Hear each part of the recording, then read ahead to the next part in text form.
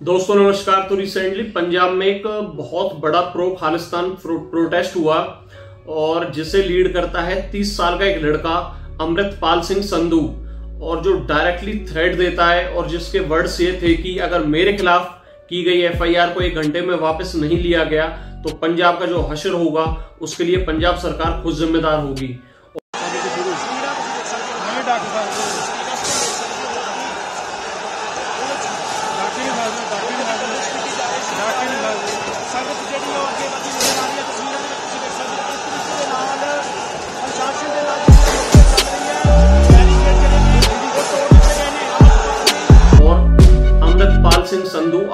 कौन और क्या है अमृतपाल सिंह संधू ये तीस साल का ये लड़का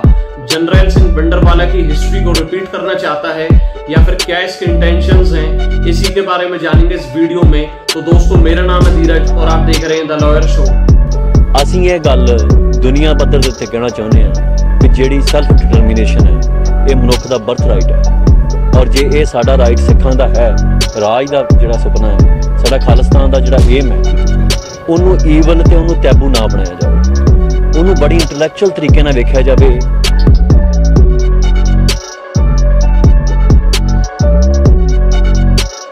अब आइए पहले जानते हैं कि अमृतपाल सिंह संधू आकर है कौन जिसका जन्म पंजाब के अमृतसर में हुआ था अब आज से कुछ महीने पहले शायद इसे कोई नहीं जानता था क्योंकि दुबई में ये ये लड़का एक नौकरी करता था लेकिन उसके बाद धीरे धीरे ये सेल्फ सेपरेटिस्ट बनने लगा और इतना ज़्यादा धर्म के प्रति कट्टर होने लगा कि आज के टाइम में अगर आप इसकी फ़ोटोज़ को देखोगे तो आप इसे शायद कोई धर्म गुरु या फिर कोई प्रीस्ट समझोगे, यानी कि कोई साधु संत।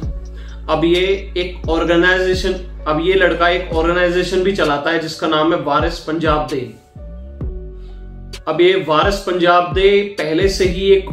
ऑर्गेनाइजेशन चलती आ रही थी, जब ये दुबई में रहता था तो इसका जो लीडर था, उसकी एक्सीडेंट में मौत हो गई थी। तो उसके बाद ये इंडिया आता है उसकी जगह लेने के लिए। अब आज के टाइम में ये लड़का इतना बड़ा थ्रेट बन चुका है क्योंकि जनरल सिंह बिंडरवाला की हिस्ट्री को सब जानते हैं कि उसने पंजाब में कितना ज़्यादा टेररिज्म फैलाया था, कितना ज़्यादा उसने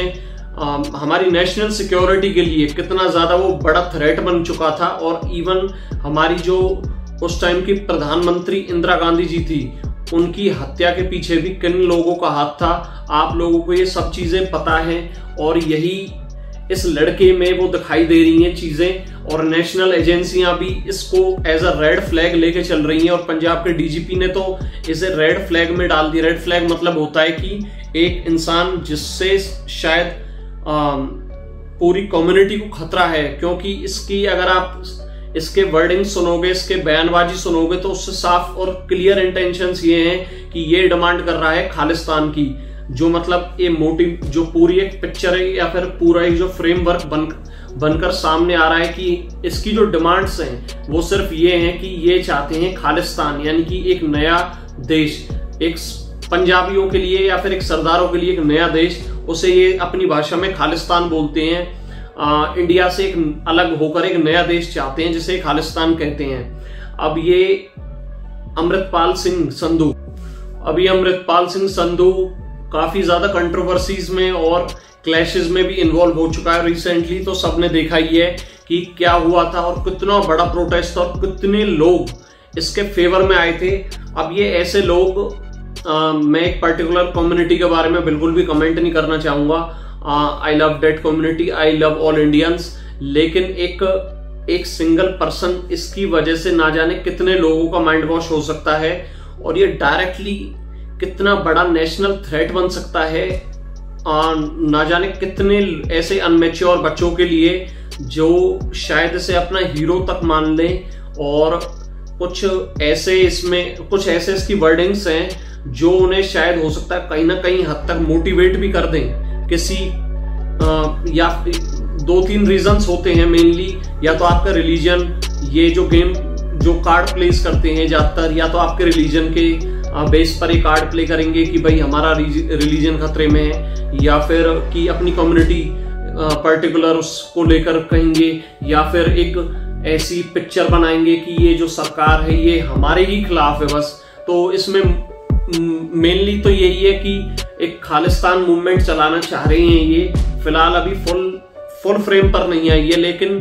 जो ये इंटेंशंस हैं, वो यही है कि खालिस्तान मूवमेंट है। होम मिनिस्ट्री ने पूरा इनके ऊपर सर्विलेंस लगा रखी है और पंजाब पुलिस भी इनके काफ़ी काफ़ी हद तक इनकी इंटेलिजेंस पर पंजाब पुलिस भी लगी हुई है। लेकिन फिर भी एक ऐसा लड़का, तीस साल का और इतना पढ़ा लिखा लड़का और एकदम इतना ड्रास्टिक चेंज आ जाता है। ये सब हम यूथ के लिए सोचने वाली बात है, युवाओं के लिए कि कहीं ना कहीं हद तक सरकार की भी कमी है कि क्यों ना ऐसा कोई बैठ कर भी कोई बातें भी हो सकती हैं कि क्यों ना समझा दिया जाए या फिर कुछ कोशिश करी जाए कि भाई अगर आपकी कोई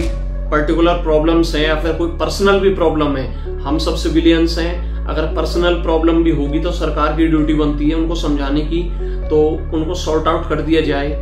तो दोस्तों, ये थी मेरी वीडियो बाकी नेशनल सिक्योरिटी के लिए रियलिटी में बहुत बड़ा थ्रेट बन चुका है और पंजाब की लॉ एंड ऑर्डर की जो सिचुएशंस आजकल चल रही हैं, वो आप सबको पता है।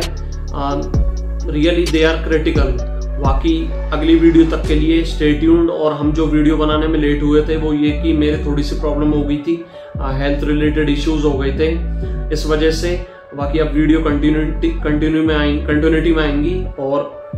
अगली वीडियो तक के लिए स्टेट्यून्ड इस वीडियो को प्यार दें फैलाएँ अपने दोस्तों के पास भेजें बताएँ उनको कि आ, सब मिलकर रहो। कुछ नहीं है ऐसा कि कोई खालिस्तान मूवमेंट नहीं है। सब we all are Indians we love India और बस यही थी। Thank you